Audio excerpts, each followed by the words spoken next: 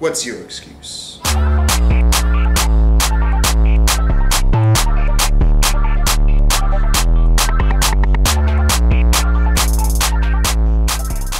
Hey YouTube, it's Will from Will Development, and this is my 149th weekly update. Now, as you'll recall from last week, I did mention that I would be on a little mini kind of staycation during this week, so training would be a little uh, less frequent, I guess is the way to put it. And that's what happened. Monday, hit everything as usual. Didn't get any new PRs from what I recall. Maybe some rep PRs, that's about it.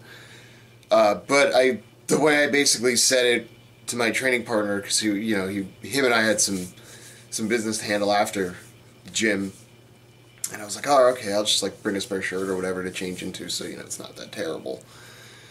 He's like, oh, you plan on going hard? I'm like, fuck, I, you know, take three days off. I better come in swinging, you know? So that's exactly what I did.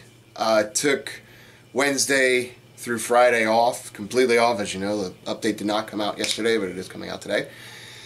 And came in there today, which was Saturday, and fucking came out swinging, hit a new squat PR of 345 with decent depth. You know, I hit parallel at least. And then did that crazy fucking drop set shit Jesus Christ. But it's done. And then decided I wanted to bench afterward because my other training partner was benching. I said, sure, let me bench. And, you know, 225 felt pretty easy, so then I just put 245 on there, hit it for five, and I went, okay. Let me chase, uh, you know, three, put 255 on there, hit it for three, which last week I was only hitting it for one. And I hit it for three pretty clean, so I said, all right, let me see what I can do. You know, put 265 on there, boom, one, no problem. And then I said, fuck it, let me see what I got. So I threw 280 on there, fucking hit it, slow, grind it, but I fucking got that shit. So fucking 280, new bench PR, very exciting. Other than that, not a lot go on, went on. Yes, I had a good time on vacation. It was just nice to take a few days off from everything, including Instagram, everything. Just totally shut everything out and just enjoyed myself, unplugged from the world my one fear was that I might gain some weight, and I actually ended up losing like six pounds over the last three days. Part of it was because I just wasn't really that hungry, and I think that's because I wasn't training. Uh, the other part of it was I was probably slightly dehydrated, and also some of my like glycogen stores were probably a little reduced due to the lack of uh, heavy eating like I normally do while I'm training. So I'm gonna just kind of take it as a win. I'm back down to 220 basically. It's like 222.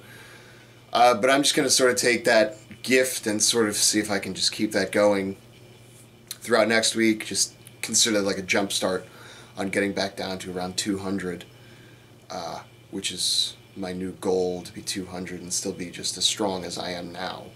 And I mean, given that, you know, six pounds down, obviously didn't lose any strength, gained some. Granted, I'm coming in rested, whatever. Doesn't matter the bottom line is I had a pretty damn good training week. And I think there's something in that, you know, because while I was on vacation, I didn't concern myself with eating. I didn't really concern myself with any kind of training whatsoever. I was just, just totally off, just enjoyed myself, did a little bit of yoga, whatever, uh, on a couple of mornings because I was like, you know what, this might be a good chance for me to sort of stretch my shit out a little bit because I was having some shoulder pains that shouldn't be. And I think all in all, it actually helped because I was able to bench today with no pain whatsoever. We'll see tomorrow and then Monday. But as of right now, I'm feeling really good, feeling very strong, and that's all we can hope for. So maybe it might benefit you to take just a few days off and not think about all of your shit towards training.